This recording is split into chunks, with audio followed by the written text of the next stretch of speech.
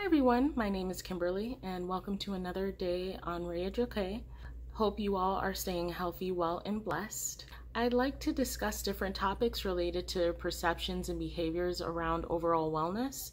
Uh, so if this content is up your alley, feel welcome to subscribe to my channel. Now, on to today's topic self-image. First off, why is self-image in the wellness category? Human psychology is a wellness topic, uh, contrary to voices in opposition. In an earlier video, I talked a good length about mental health, uh, taking a bare bones approach to how we interact with it in our daily lives. If you want to get to that video, I'll link it in the description below um, so you can watch it. But um, wellness is not just physical. It's also mental, emotional, spiritual, occupational, and so on. Wellness relates to well-being, and we are human beings. How we perceive ourselves and our environment plays a role in our behaviors in these areas. Now that we've addressed that question, let's get more into today's topic. We hear the word self-image a lot these days especially as we become more and more of a heavily image driven society. But what is self image? It simply boils down to the image we hold about ourselves. Uh, however, how we feel about ourselves is a bit more convoluted.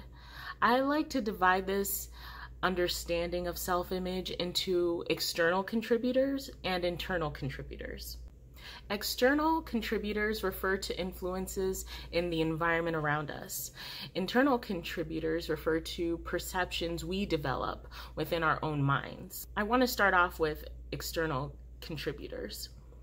Um, and that being said, I'd like to talk about one, how others perceive us outside of our own personal perceptions, and two, how we perceive ourselves with others as the comparison. The big question out there is likely Kim, your self image shouldn't rely on what others think about you. And yes, well, I agree. That's just not the reality for us, is it? The truth is, we do place some level of value on what others perceive of us. If there's one person out there you care about, trust me, you care to some degree, or you regard what um, they think, or consider what they think, or whatever. You care, period. We are social creatures, and we're part of a society that has built itself based on the social comparisons we make, like social hierarchies, for instance.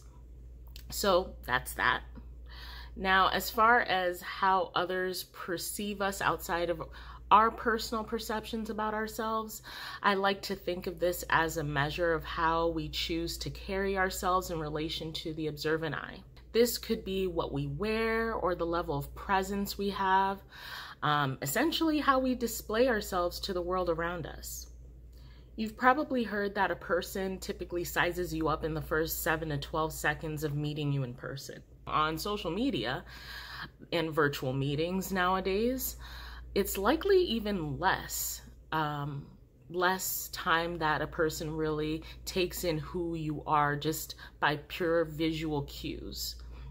Regardless of how we feel about the way we project ourselves to people, people will still draw their own conclusions about us with these conclusions, they play a role in how the world ultimately treats us, and that treatment becomes the experiences we eventually internalize. In regards to how we perceive ourselves with others as the comparison, we can simply refer to this as social comparison. And this is also nothing new to us. While we may not like to admit it, there are times we tend to compare ourselves to others. It's just the truth in human nature. It could be with physical attributes or certain character traits.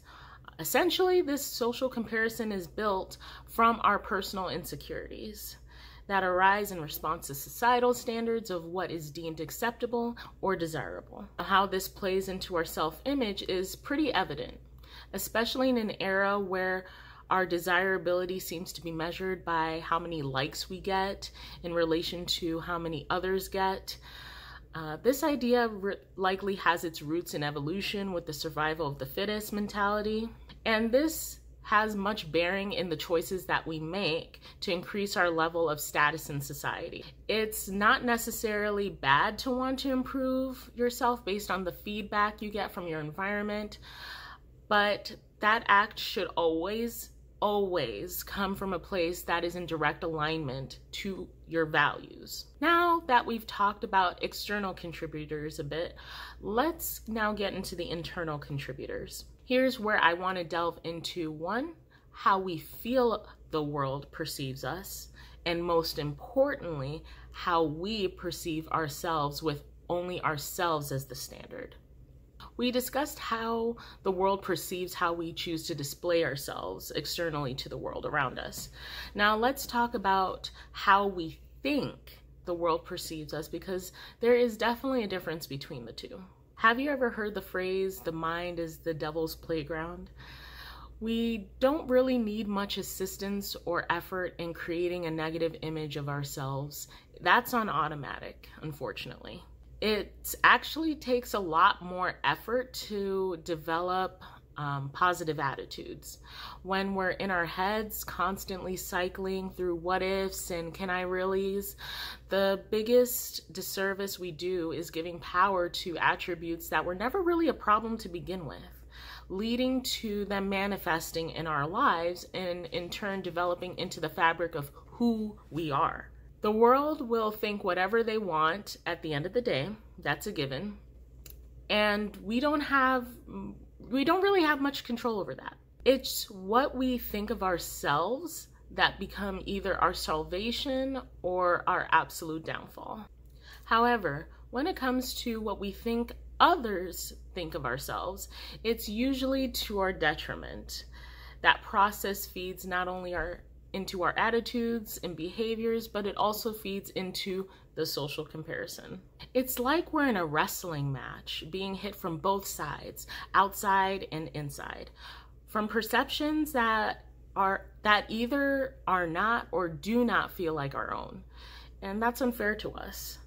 And the ultimate result is a good deal of social anxiety that hits you like a ton of bricks. Uh, let's turn our attention to the core of our self image, which is how we perceive ourselves, only holding ourselves as the standard to be accountable to.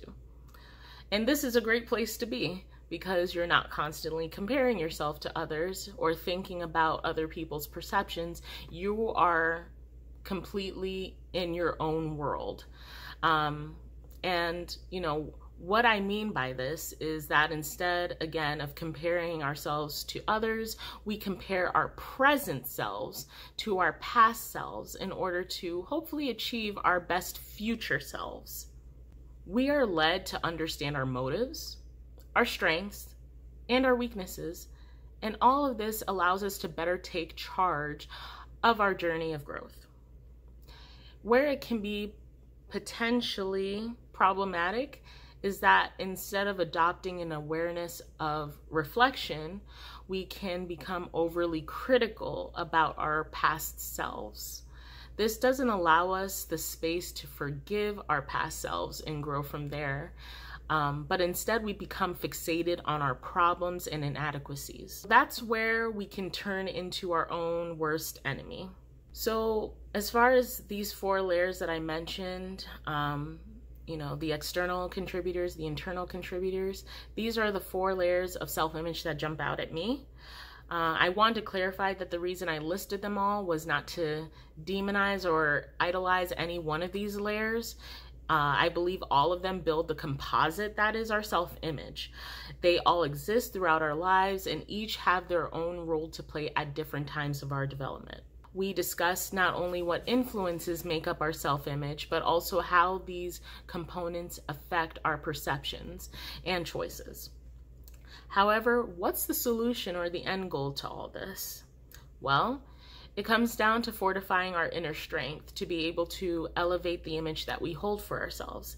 And there are some ways that we can do that. One is focusing on growth and evolution in all areas of life. This plays into the mindset of becoming the best version of ourselves. This does not mean striving towards perfection. I just want to make that perfectly clear. But it does mean focusing on development. How do you get to a place in life where you can achieve true meaning and significance for yourself? Learn to have grace with yourself when you fall down, but also encourage yourself to get back up. And have enough wisdom to know that life is and will be full of these moments. Be open to experiences where you can learn and grow in different areas. I like to think of this as treating yourself to an adventure. Pick up different hobbies, pursue a goal you've always wanted to achieve but never really stopped to do so. Um, explore new genre of thinking that could stand to maybe challenge you a bit. Something. We're not built to be these static beings. We are and will always be evolutionary. Secondly, find ways to normalize your perceptions around vulnerability. And the reason I say this is that an awareness needs to be built in knowing that the journey will never be easy. You will have times where you feel on top of the world and times when you feel like crap. Uh, you may not have all the answers, and that's okay. You have nothing to prove to anyone but yourself. Also, while it's not easy to be vulnerable, it's sometimes in those moments where we become the most open to introspection. I know that's definitely happened for me in moments where I was at my lowest. It really gave me insight into um, some of my goals, ambitions, who I wanted to become as a person, and it was where a lot of great ideas were born.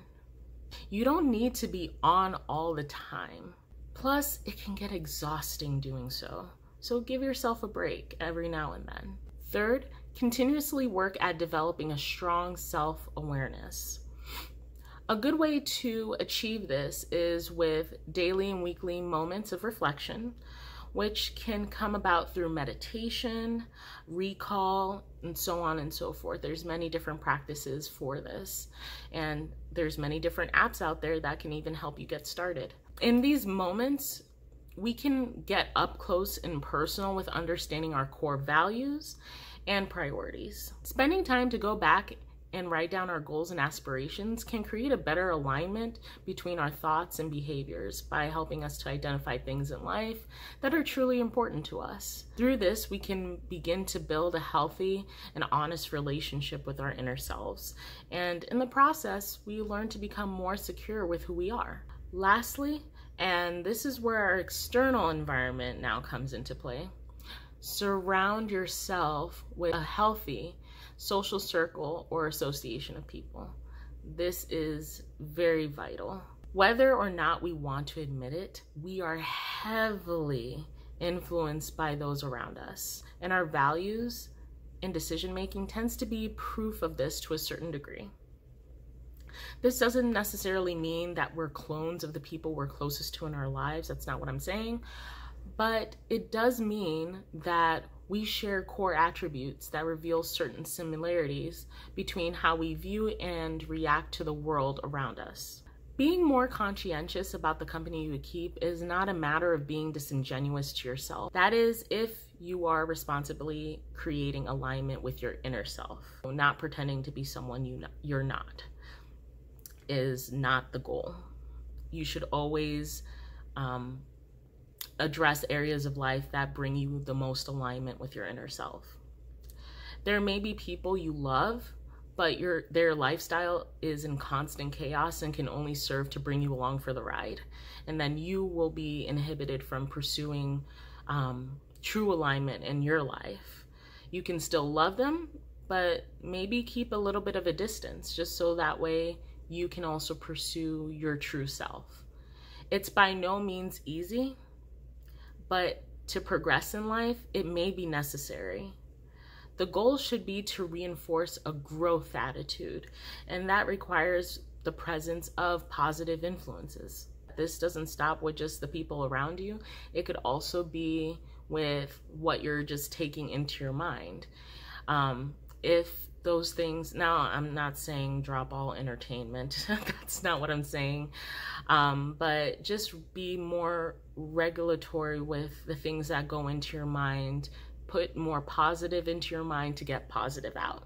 If you stuck around this long in the video, thank you. Uh, this was a very, very long topic to talk about, and it's not an easy topic to capture, capture because it deals with so many different things. However, hope this topic did help you and you feel a bit more empowered on your journey. Feel welcome to hit the like button and comment down below. If there's a topic you would like for me to offer insight on, I encourage you to let me know. Also, if you're interested in following my journey up close or are interested in additional content on personal growth, feel free to follow me on social media. You can find my details in the description below. And until next time, stay golden, my wonderful warriors.